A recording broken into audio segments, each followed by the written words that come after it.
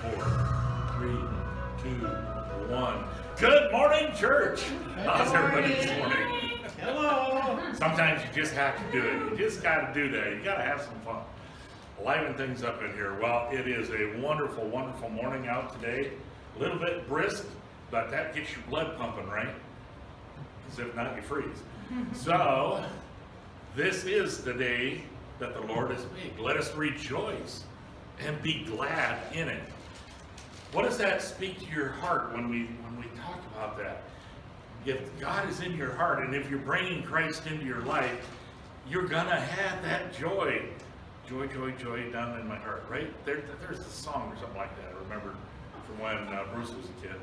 And uh, so we need to be filled with that joy. We need to be filled. We should be glad that this is the day that God has made for us. Take ownership of it. Because God created this day for you and for me. And it is what you make of it. God gives it to you to be the steward of the day. Keep that thought in mind as you go through each and every day. So, good news, we are approved to go into a new building at 121 Old Marion Boulevard in Marion, which is right off 7th Avenue. Uh, behind the McDonald's there, there's a little shopping mall in there, and we are on the north side of the shopping mall, Suite 121. Uh, we take occupancy on February 19th, which means we can start moving our stuff in and kind of fixing the place up. Our rent, and we'll actually start in that space on March 1st. We actually take it over officially. That's when the lease begins. And our first service will be March 6th. And our first event will be, guess what? Grace Street Cinema. How about that? Wow. When we moved into this space, our very first event was Grace Street Cinema. So it's pretty awesome, pretty awesome. So uh, coming up this Wednesday, we have our group study and prayer time at 7 p.m. right here. And Orange Track Racing Season 17 starts on February 12th. So we will be having that here and then obviously that will transition with us over there. And uh, so we're looking forward to season 17 and uh, bringing that joy into people's hearts as well. So well, let's go to God in prayer as we start this time of worship together. Gracious Lord and Heavenly Father, we just praise you and thank you for this day. Another day in your presence. Lord, another day of life that you have given to us to share with one another. Thank you, Lord, for the blessings that you give us each and every day and for the opportunity to gather freely and openly here to worship you today. And Lord, we thank you that we can worship you not only in word but in song. And our fellowship time together is all an act of worship for you. So we invite you into our presence right here, right now. And we know that by your word, when two or more are gathered in your name, there you are amongst us. And we praise you and thank you for that. We thank you for that blessing, Lord, that you can be with us here today.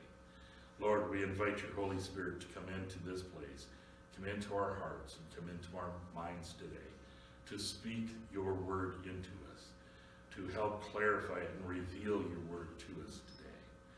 Lord, we thank you for the message that you've given Pastor Terry to give today and, and for the blessings that that will bring to us as well. So, Father God, as we come into this time of worship, let us put all other things aside. Put the things of the world aside, Lord, and concentrate on you and the blessings that you have for us today. In Jesus' name, amen. amen.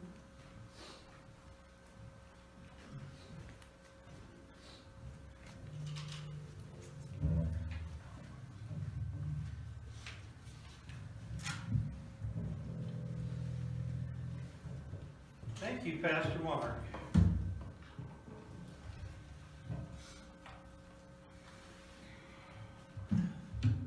You know, one, one of the things about being excited for Christ and, and having some joy on a Sunday morning, one of the things that happens is it's contagious.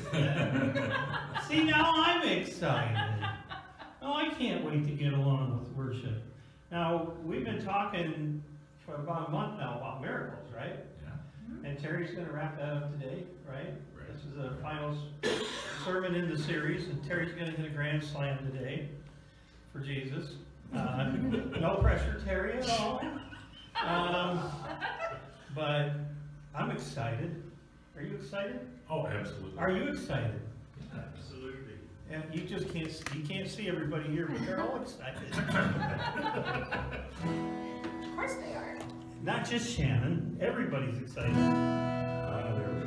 Let's praise God with some excitement.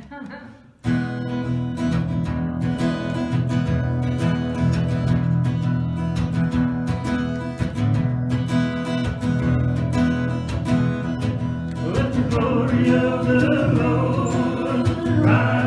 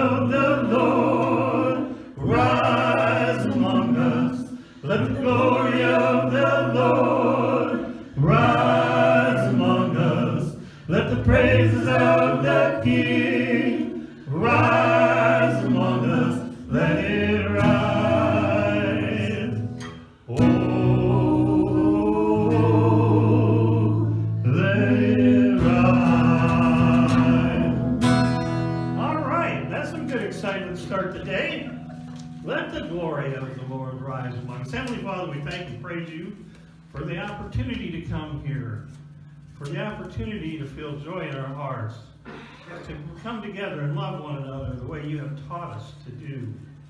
Heavenly Father, we just ask that you would be with us during this service. Let the words of our mouths and the meditations of our hearts be acceptable in your sight, Lord, today. Let the music sing out to you in praise, honor, and glory.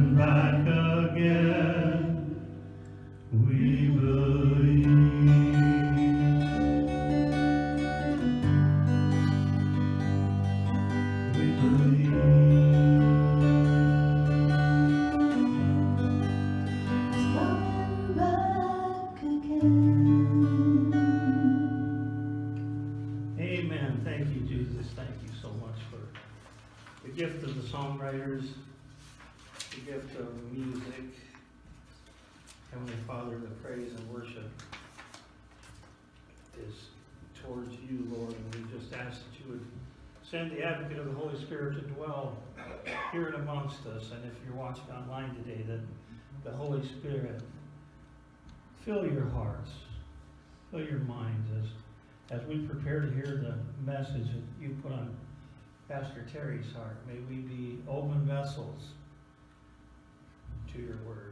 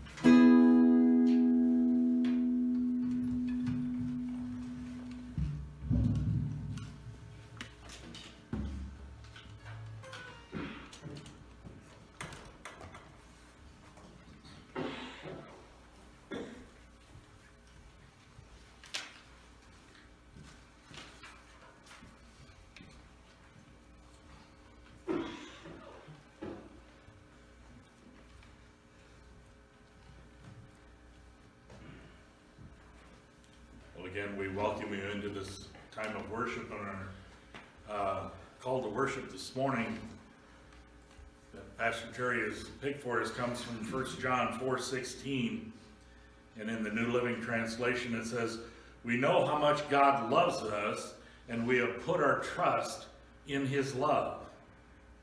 God is love. And all who live in love live in God, and God lives in them. What a promise that is. That's something to grab onto and hold on to and think about. I, I'd read that song or that uh, verse constantly to remind us that God lives in us, that God is love. So no matter what we're going through, we have to understand that God loves us unconditionally and unendingly. And see, that's the nature of Christian love. It's God's nature to love. It's a pure love. We call it agape love. And, it, and it's a love that comes with no strings attached. It doesn't mean that, Shannon, if you're good today, God's going to love you. Or Beckham, if you help that little old lady across the street, then God will love you. See, there's no strings attached to it. It's an agape love. It's a God-given love. He loves us because he is God. Because he is God.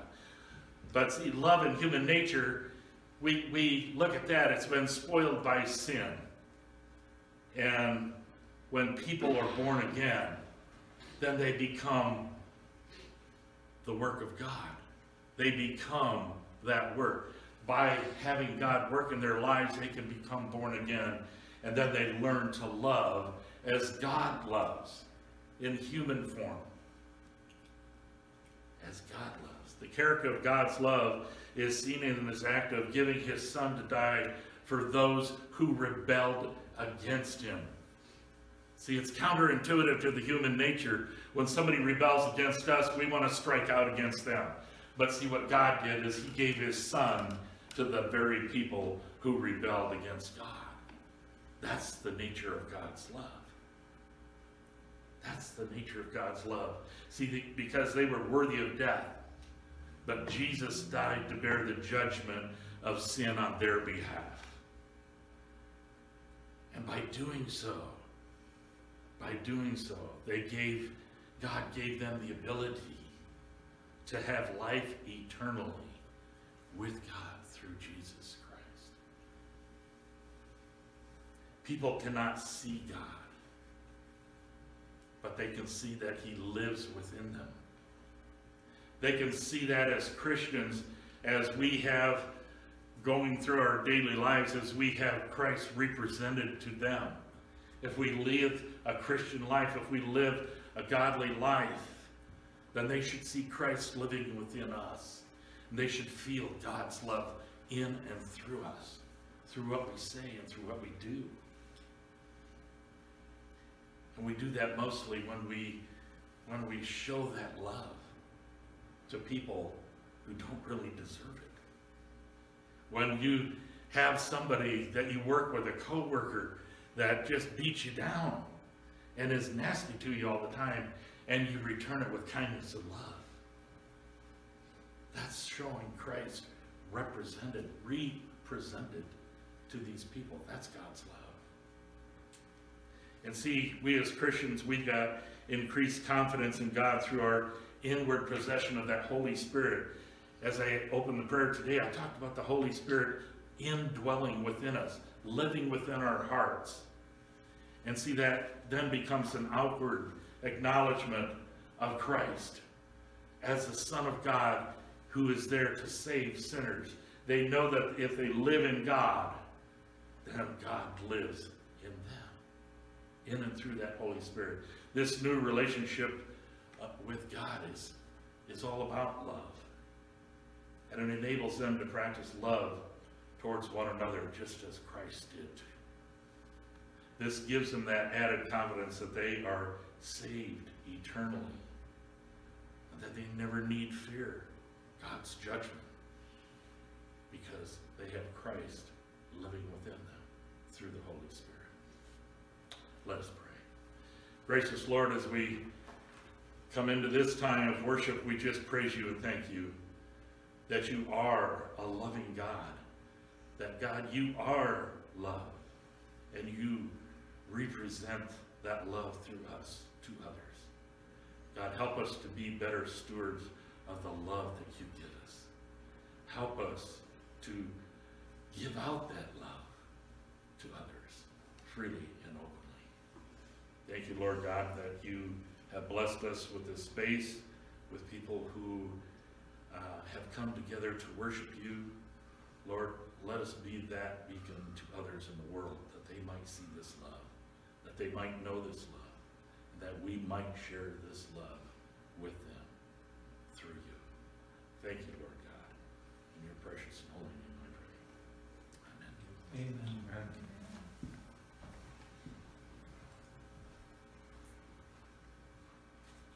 quickly before I forget.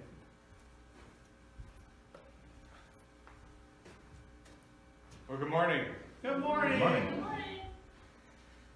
Uh, this has been a journey we've been on through this series. It started with an amazing movie, and uh, oh yeah, we have a tendency to show movies where we have to put out Kleenexes. this is one of those. If you haven't seen it, uh, let us know. Um, I know it's lent out right now, but uh, we'd be more than happy to lend it out to you so you can watch it as well. Today we're going to wrap up this series with a message that hits us all right here, right in the heart. We're going to talk about the miracle of love. a love that gives us hope, a love that gives us assurance, no matter what we're facing in our lives. Now, as I was doing my devotion yesterday, I ran across this and it, it was um, just hit me hard because this is what the love that God can do for us. Um, this was about a young man, his name was Shane Taylor. And he was considered one of the most dangerous people or men in the UK prison system.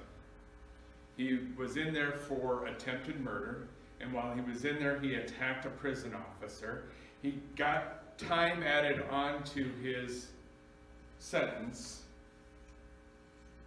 and then he went to a prison ministry.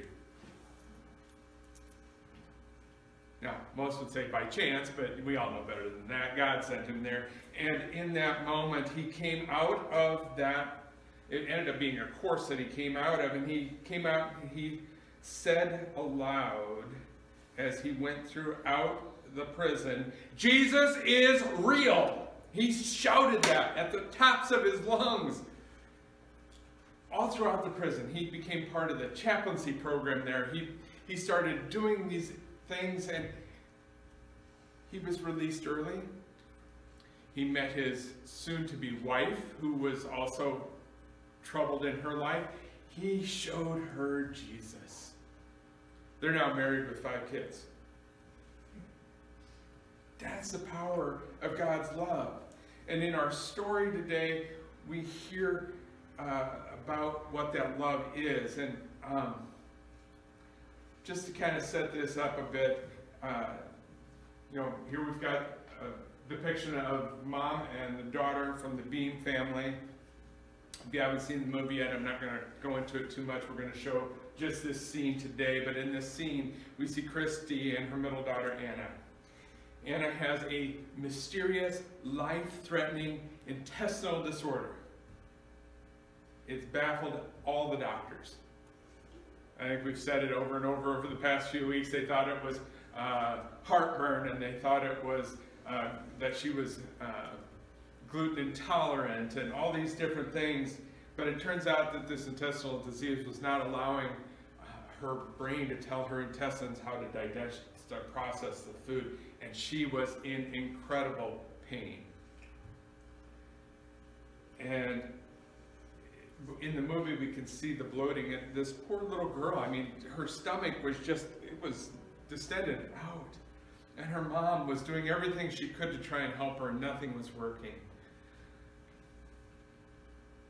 Parents' worst nightmare when you can't help your child.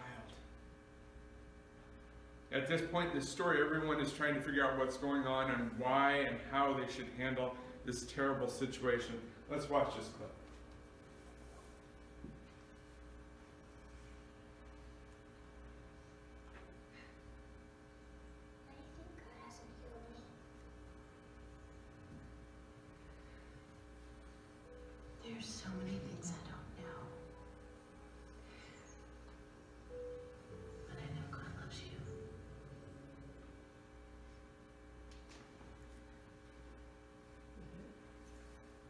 That's it. That's all. That's it. When you said clip, you meant clip. It was a clip. About that much. Well, we didn't want to give too much away about the movie, right? So there's that. We're safe. think about your own life. Can you relate with this mom? You don't know what to do. There's so many things that, that I don't even know this morning. Oh, For several years, I, I made uh, three or four trips to the emergency room thinking I was having a heart attack. And then in 2011, I finally found a doctor that said, oh, it's your gallbladder. And when they went to take it out, it was, completely diseased. There- was nothing left good about it. And, and, and now I'm going to just say something I posted yesterday. I, posted this up few years ago, or Diana posted this a few years ago. That said, if you live in a pastor's home, you have the right to remain silent because anything you say or do may be used in a sermon illustration. So, Chris, I'm very sorry. But Carissa had, she sometimes has problems processing food. And she went gluten free. I was so proud of her.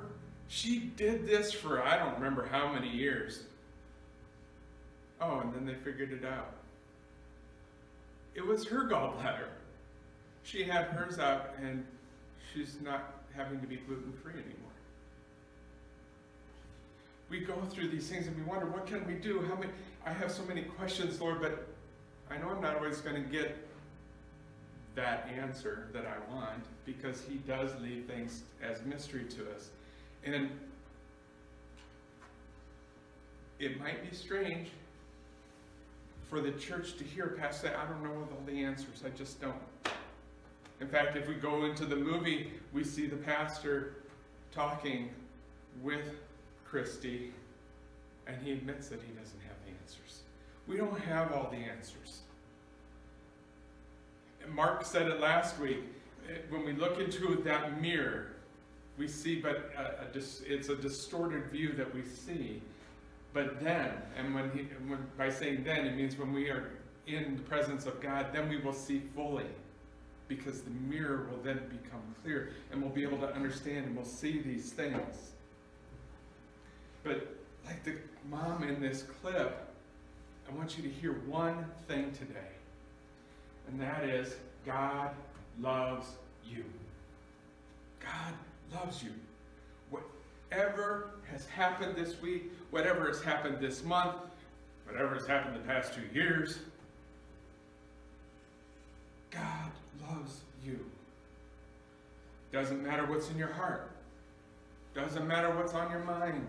Doesn't matter whatever you were dealing with, whatever difficulty is, whatever the tragedy you're wrestling with is, wherever you are on your journey of faith, whether you have started that journey, whether you have not started it, whether you are years down the road on it, God loves you. And here's the thing, whether you like it or not, especially if you haven't come to that, rev that revelation yet, um, God still loves you. Doesn't matter how you feel. He still loves you. And when we face the painful realities of life, because we're going to walk out the door today, we're going to have maybe a nice spiritual high today as we have church, but as soon as you walk out that door today, reality of life is going to hit you square in the face. God loves you may seem trite and shallow, but it's not. Because it's more than just a passing of saying bless, like bless her. The truth of these three words, God loves you, is the most, most earth-shattering, life-changing truth in, not the world, the universe. The fact that God loves you is the deepest truth you can know. It's not the full length of pi. It's not some mathematical equation. It is the fact that God loves you. And the fact that God loves you changes everything.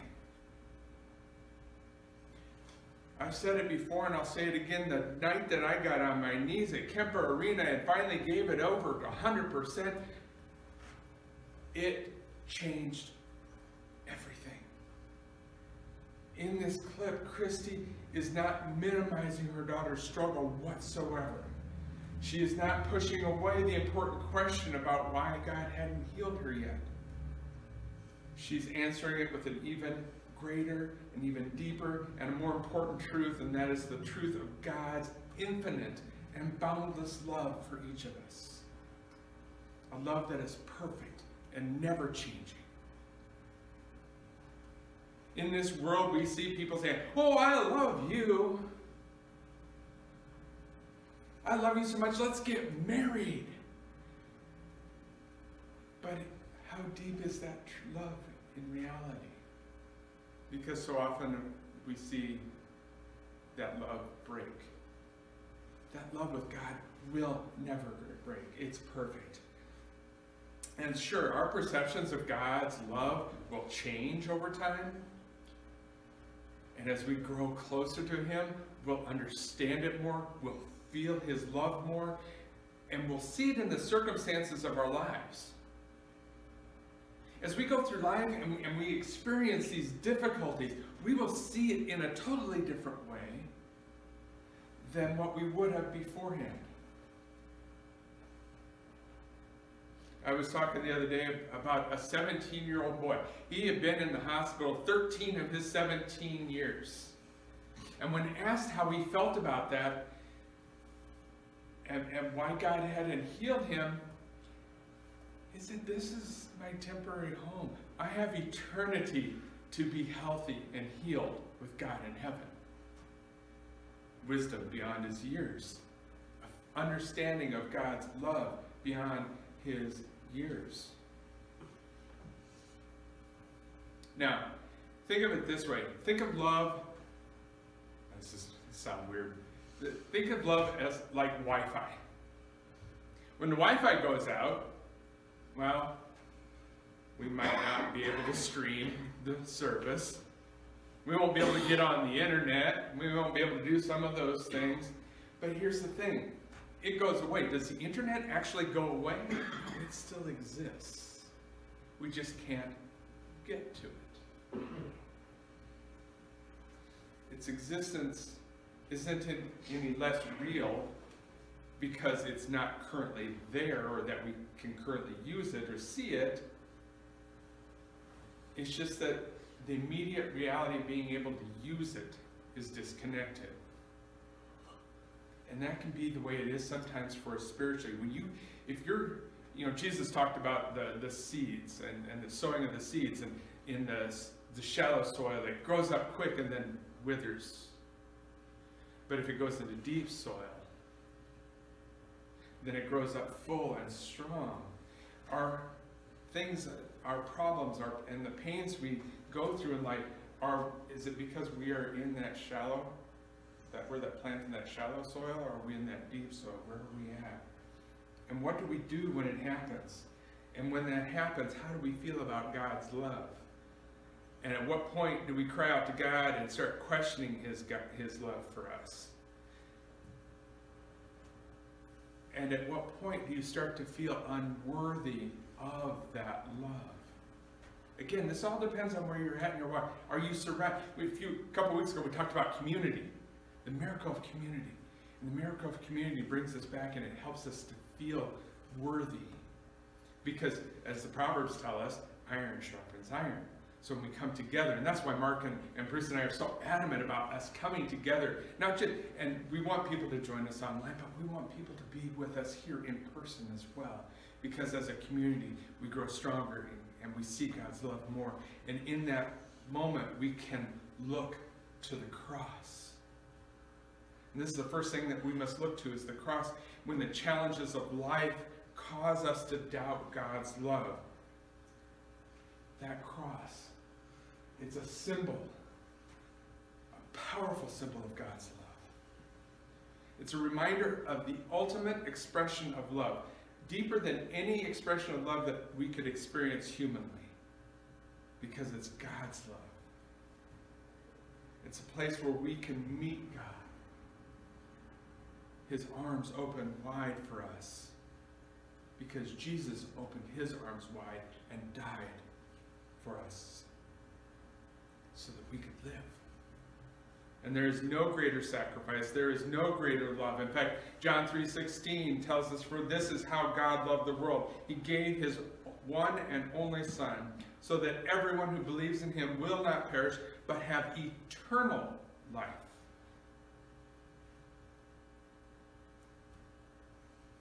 Probably one of the most well-known verses in the Bible. Many of you might remember when Tim Tebow put it in, uh, when he was playing football, he would have it written in the black on his eyes, on his cheeks. Some people, this is the only verse they know because we hear it so much. We know it so well. There's people that haven't even stepped foot in the door of a church that probably know this verse. God's love, we could almost say it's the theme of God's love song for us. Now, there's some songs that we sang as kids. Remember, anybody remember singing, Jesus loves me, this I know, for the Bible tells me so. And then there's always, Jesus loves the little children. Or praise him, praise him, all you little children. God is love. And there is a reason for this common theme. God's love is truth. It's the truth that everything rests on. But the fact that it's commonly known doesn't change its uncommon power. God's love shown in Jesus is what changed all of history and changes lives today, tomorrow, and into the future. And that's how we can look to God's nature. See, as we remember the cross, the ultimate act of love, we are also reminded that God's love is not just a one-time event. It just it didn't just happen on that day. In fact, not only do we have this incomprehensible act of love as a demonstration of God's love, but we know from the scriptures that God himself is love. It's written throughout the book from Genesis to Revelation. In fact, not only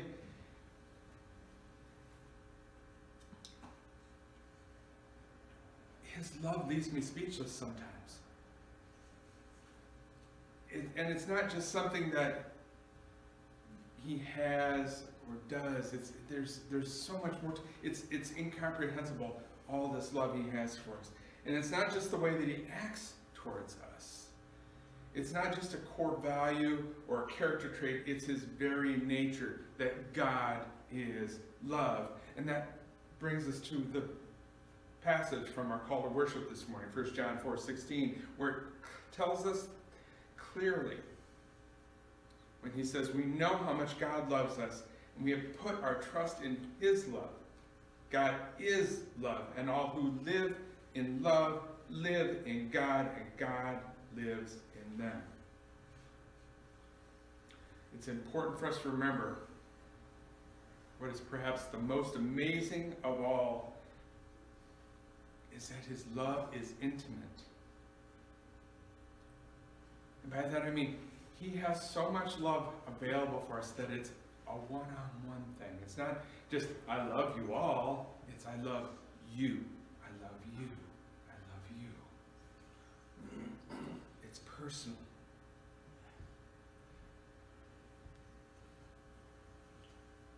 When we think, if I, if I go back to John 3.16 where it says, for this is how much God loved the world, let's change that to, for this is how God loved me.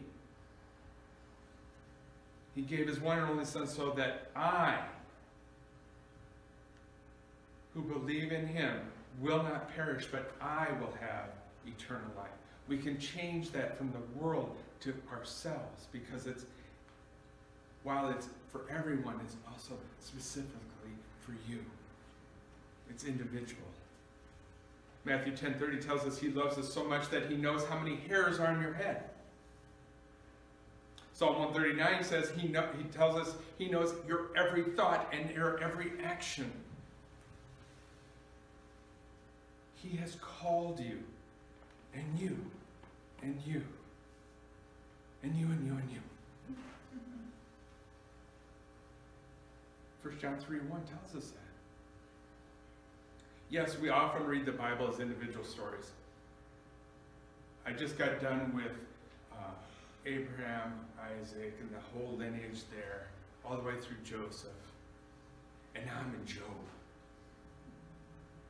Individual stories, but when put together, give us this intimate love story that God has sent for us. Yeah, when you look at the Bible, we, you open it up, there's different books, different chapters, all these different verses. Yes, you've got the different biblical heroes throughout the book. There's all these truths that we learn, all these valuable lessons. But it boils down to it's just God's love for us. every good love story is one of unending love and relentless pursuit. And the story of God's love for us is exactly that kind of story. In her book, The Story of God's Love for You, author Sally Lloyd Jones weaves together the stories of the Bible that tell the one big story of love. She begins this story with the creation of the world, and she says it this way God looked at everything He made. Perfect, He said, and it was. But all the stars, all the mountains, all the oceans, all the galaxies, everything, nothing is compared to God's love for us. He would move heaven and earth, and He has, to be close to us throughout all of history, throughout all the moments of our lives, the one unchanging force is God's love. Circumstances change, emotions change, relationships change, beliefs change. God's love for you never changes. James 1:17 says this, whatever is good and perfect is a gift coming down to us from God our Father who created all the lights in the heavens and he cha- never changes or casts out a shifting sh- shadow. And as I think of that, I think about what we talked about just before church. We were seeing it was snowing outside. And it's not a heavy snow, it's just like you see these little dots of snow falling. And I likened it to like a summer evening where you see a lightning bug and you got light here, light over here. Those are, I think of those as like the lights from heaven. And then Hebrews 3.8 echoes this truth, says Jesus Christ is the same yesterday, today, and forever. Therefore, we don't trust God just to do something in our lives. We trust God because of who He is and always has been and what He is doing. And we can place our trust in what He has done, what He continues to do, and what He will do in the future. He is working on restoring and reconciling the world to Himself through His love. And because of that, the love that God provides, God's love then provides us with comfort. So what's the first thing a parent does when a child comes to them? Oh, let me kiss your boo-boo. Mm-hmm. Depending on how big the kid is. and just put a band-aid on it, you're all right. Our parents love us and they're going to take care of us. They may give us a hard time about our boo-boo because, you know, maybe we're making more of it than it really is. But when it comes to God and the pain of our lives, His love will provide us all with comfort. God's love that provides that comfort provides it because it is safe. It's a haven when we're hurting. When we hurt, when we are just beaten up, we can go to God and find that peace and that comfort. We don't have to fix everything because as much as I like to think of myself as a fix-it guy, I can't fix it all. Hardest thing for me to tell a customer when I'm on the phone is, I'm sorry, the problem that you're having, we can't fix. You live between two mountains in a heavily wooded area, there's no cell signal there. It is what it is. But when we can go to God and go, look at these beautiful mountains and these wonderful trees, and we can just live in the comfort and the peace that it provides, because, you know, without that cell phone, there's a lot of peace. he, in his love, welcomes us, and his perfect love, as what he says in 1 John 4.18, drives out fear. So not only is it safe, it's secure. And there is nothing that can move or remove it, nothing that can defeat or replace it. Listen to what Paul wrote in Romans 8, 30, 39. He says, And I am convinced that nothing can ever separate us from God's love, neither death nor life, nor neither angels nor demons, neither our fears for today nor our worries about tomorrow, not even the powers of hell can separate us from God's love. No power in the sky above or in the earth below. Indeed, nothing in all creation will ever be able to separate us from the love of God that is revealed in Christ Jesus our Lord. We can come to him without fear, knowing that we are safe and secure and comforted by that love because God's love also provides hope. Suffering is one of the main things that causes us to doubt God's love. But like a light in the midst of darkness, God's love provides hope in the midst of our suffering and doubt. We go to Romans 5, 3 and 8, where it says, We can rejoice too when we run into problems and trials, for we know that they help us develop endurance. And endurance develops strength of character, and character strengthens our confident hope of salvation. And this hope will not lead to disappointment, for we know how dearly God loves us, because he has given us the Holy Spirit to fill our hearts with his love. When we were utterly helpless, Christ came at just the right time and died for us sinners. Now, most people would not be willing to die for an upright person, though someone might perhaps be willing to die for a person who is especially good. But God showed us his great love for us by sending Christ to die for us while we were still sinners.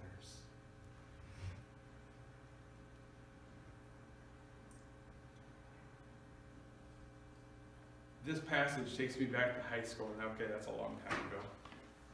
But I remember this, our weather has been kind of warm recently, and it's reminded me the beginning of track season. When you get out there and you're huffing and you're puffing, and you're, but the more you do it, you build that endurance, and pretty soon that huffing and puffing goes away, and you develop strength through it. And when we go to God, it develops our strength of character and we understand the confident hope of salvation. And our hope is not in ourselves. God didn't wait for us to get our act together before he sent Christ. He knew we were already hopeless. And that may sound a little harsh, but in reality, we were born into a sinless or a sinful world, not a sinless one, but a sinful world. So it's not really harsh at all. And when you came, some of you have grown up in the church, other of you have had the epiphany moment. God met you right where you were at, regardless of where you were at. And so while we were still sinners, Christ died for us. Ephesians 2, 4, and 5 tell, reminds us of this very same thing when it says, But God is so rich in mercy, and he loved us so much that even though we were dead because of our sins, he gave us life when he raised Christ from the dead.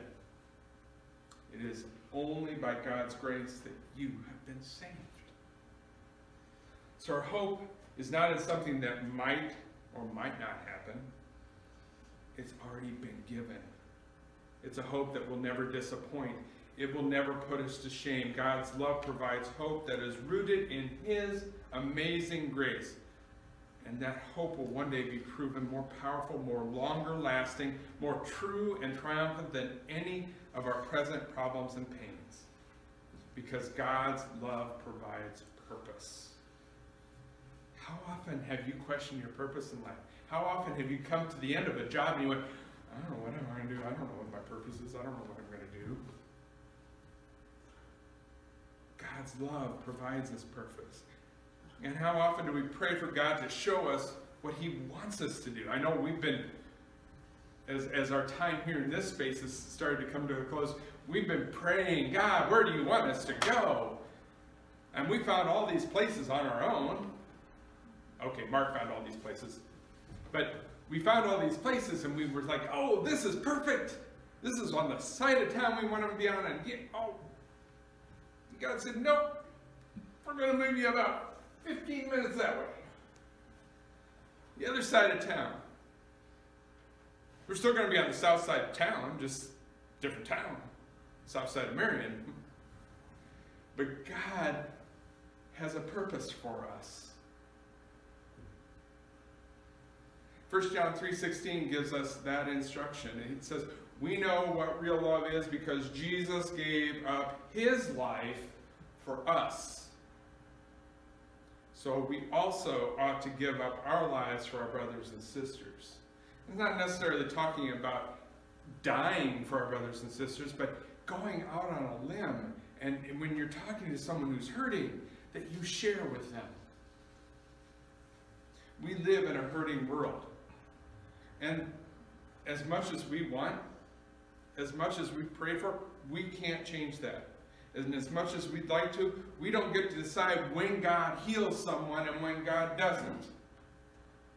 But we can always share His love in every circumstance. Now, of course, you all probably know 1 Corinthians 13 as the love chapter. It spells out for us what it should look like and how to show love. In verses 4 and 8 it says this love is patient and kind. Love is not jealous or boastful or rude. It does not demand its own way. It is not irritable, and it keeps no records of being wronged. It does not rejoice about injustice, but rejoices whenever the truth wins out. Love never gives up, never loses faith, is always hopeful, and endures through every circumstance. Prophecy and speaking in unknown languages and special knowledge will become useless, but love will last forever. The specifics of showing love can look very different for each of us as well because of the circumstances that we find ourselves in. God's love can be shared listening to a friend. I ran into a, an old uh, employee from my McLeod days yesterday at Walmart. And we sat and talked. I think Diane got like 20 minutes worth of shopping done while we stood there and talked. But I got to listen to him and got to hear about his life and where he was at. And it's also caring for a parent. How, how many of you care for your parents now? It's also doing business with integrity or telling the truth. It might even be cooking a meal or giving of our time and talents. It could be celebrating a victory or weeping or grieving with someone over a loss. Every situation we find ourselves in is an opportunity to show and live God's love. And when we love others, it binds our hearts together and draws us closer to the heart of God. In John 13, 34 and 35, Jesus gave his disciples a new principle to live by when he said, So now I am giving you a new commandment. Love each other, just as I have loved you. You should love each other. Your love for one another will prove to the world that you are my disciples. So we could say love is God's trademark. It's who he is. And as his followers, sharing God's love with others gives us purpose in everything we do. Because it goes right back to what we started with. God loves you. And that love is miraculous. It defies explanation by any means. It transcends the limitations of our world and of our minds. It calls us and carries us to much more being in Christ. And my prayer today is that you will know his love beyond any shadow of a doubt. And if you are sensing God's love for the very first time today, embrace it, accept it. Let his love change your life for eternity. And if you were being reminded of his love, let it wash. Have you ever had that feeling where just something just washes over you? Let that wash over you. Let his love wash over you and cover every part of your life. Let his love provide you with comfort, with hope, and purpose. And I pray for each of you, as the Apostle Paul prayed for the Ephesians, that as we trust Jesus. He will make his home in our hearts. And this prayer comes from Ephesians 3 17 and 19. And this is the prayer that I leave us with right now. That your roots will grow down into God's love and keep you strong. And you may have the power to understand, as all God's people should, how wide, how long, how high, and how deep his love is. May you experience the love of Christ, though it is too great to understand fully. Then you will be made complete with all the fullness of life and power that comes from God. Amen.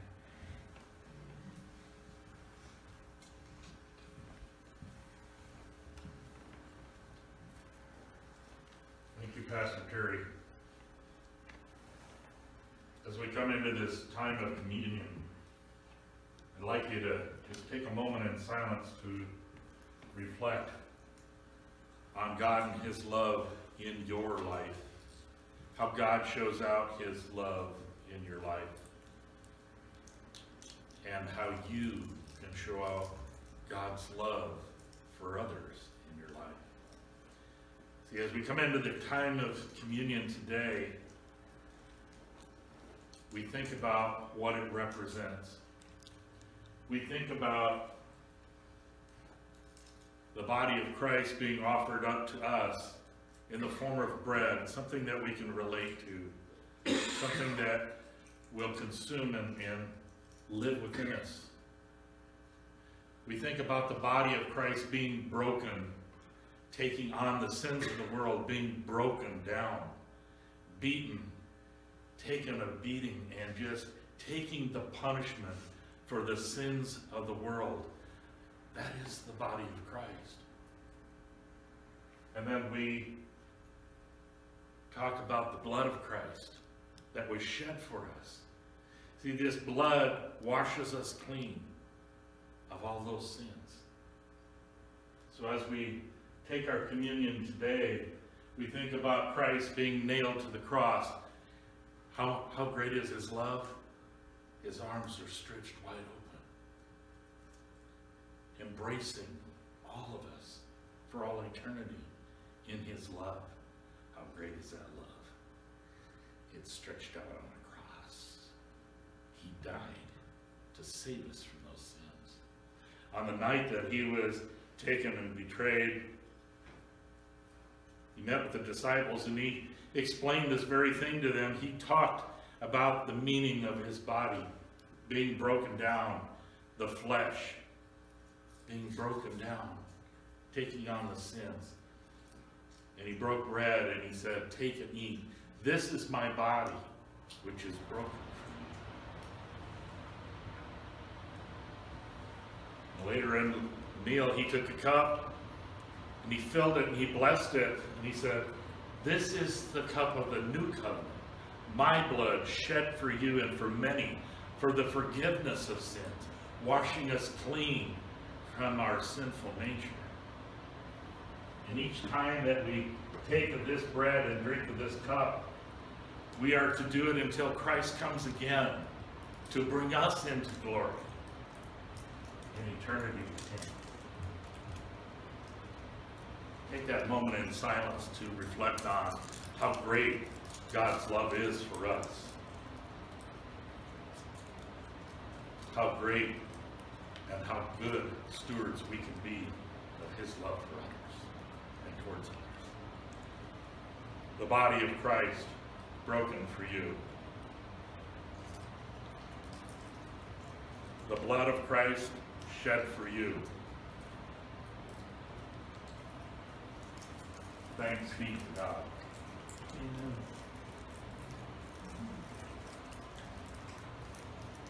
As we come into our time now, our prayers for the people, we've got uh, quite a few people who are sick, ill, out today, or not able to be with us. Hopefully they can join us online. Um, you know, when we think about this, and as uh, Pastor Bruce was talking about how infectious things can be, and we, we think of infectious and and the spread of viruses and disease and everything else, but really, truly, COVID doesn't have to be the only thing that's infectious out here. Okay? We need to be infectious for others and show God's love for others and give it openly and freely. Let's spread that virus around, shall we? Amen. And hopefully it infects the entire world with love, with hope, with peace, with grace, and with mercy. So as we uh, uh, met on Wednesday, we had quite a number of new uh, people that we've been praying for, and, and some of the people that we had prayed for, we've, we've had answered prayers. And it's awesome. It's just, you know, really fulfilling, uplifting. It's something for us to celebrate and praise God for, that the fact that prayers are being answered, people are being lifted up. And we start by hitting our knees and then we can be lifted up. Thank God for that. Do we have any prayers or praises that you'd like to bring forth today? Praying for strong marriages. Praying for strong marriages. That's an excellent prayer. Okay? Anything else we can lift up today? We can lift up that God will be felt in a new location for us and that he will move us in mighty ways to do his work and his will in our lives. Because that's what it's all about. Well, let's go to God in prayer, shall we? Thank you, precious God, that you have given us the messages of your word and song today. Thank you, Lord, that you have shown us a way to live out your love for others. Help us to be good stewards of the love that you give to. Help us to be good stewards of the life that you give to us. We were created to be your servants, Lord. We were created to be your hands and feet and to walk in grace with you. Thank you, Lord, that you carry us through those hard times in our lives, that you walk beside us, holding our hands. Thank you, Lord God, that you are grace and mercy and unending love for us, freely and wholly given, and agape love with no strings attached. Your God, your love is eternal, and we praise you and thank you for that. In Jesus' name, amen.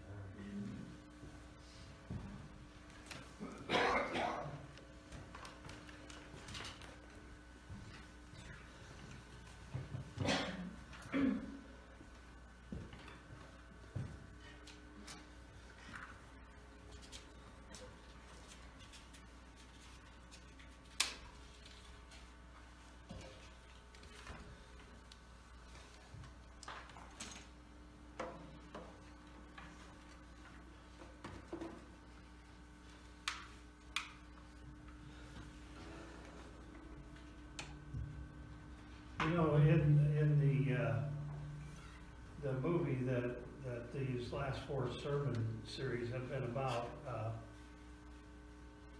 we find that it's really, it gives you this great feeling to be cheering for this little girl. And we see a miracle, God work a miracle in this little girl. We like to cheer for the underdog. We like to cheer for it, it gives us a good feeling. Today you might have a football team playing, and you might be cheering for somebody. You might be cheering for Patrick Mahomes.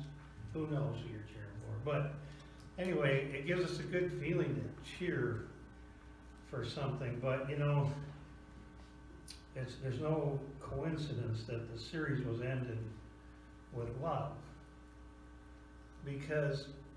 Uh, during this movie, uh, when they were talking about how the movie was made, there's a scene in the movie where uh, they're having this awesome church service. The place is packed, and Third Day's up there playing. Well, I mean, break. Anyway, and they say, well, you know, we brought Third Day in to do this movie with us for a reason. And so I read a little bit more about that because that intrigued me. Uh, the song we're going to do right now is by Third Day. And let's listen to what they have to say about miracles. Miracles with signs and wonders aren't enough for me to prove to you. Don't you know I've always loved you? Even before there was time. Though you turn away, I tell you still, don't you know I've always loved you? And I always will. So even though that miracle of that little girl being healed, we see that, but it's kind of short-lived in us. Um, we look for the next miracle. How many miracles have we seen in the Old Testament and the New Testament? It's never enough. It's never enough. But what is enough? Exactly what Terry told us today. God's love.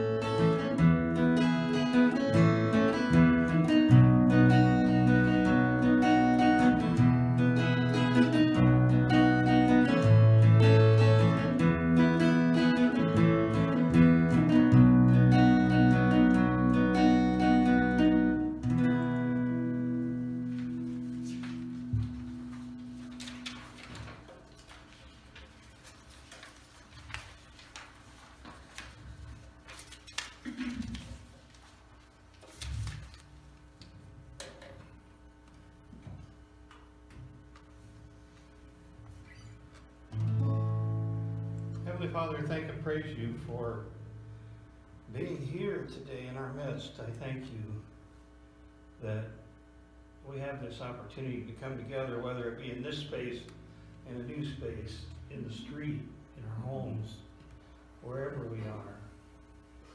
We can always worship you, Lord.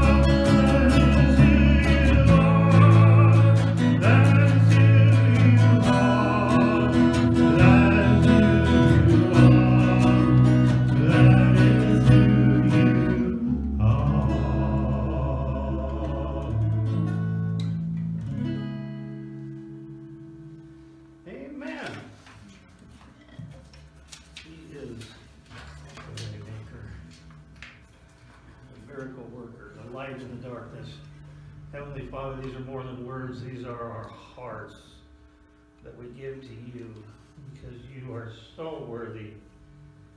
We are such a sinful people, but you sent your son to die on that cross like Mark was talking about and, and Lord, we just, we just want to give back a small portion in praise and worship to you today. All right, we're going to praise and worship Jesus in a fun way now, we like to do.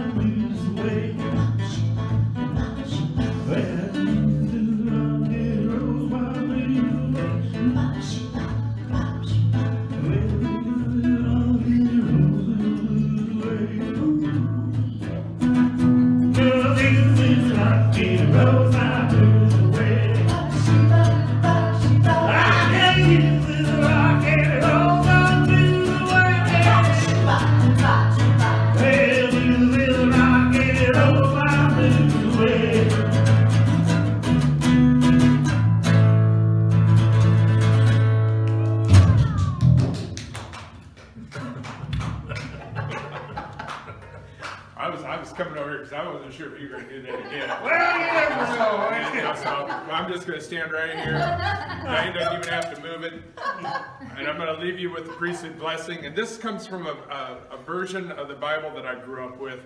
Um, some of you may have read this, but it's the Revised Standard Version. This is uh, the blessing that God gave to Moses for Aaron and his sons to bless the people of Israel, but it goes a step further. It's to bless all of us.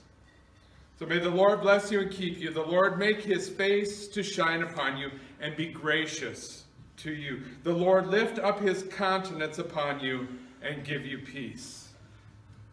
And I charge you today that Jesus is the rock, and to take that love that he gives us, go out that door and show it to everyone that you come in contact with and meet.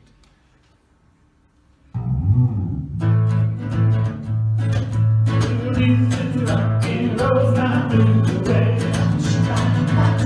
my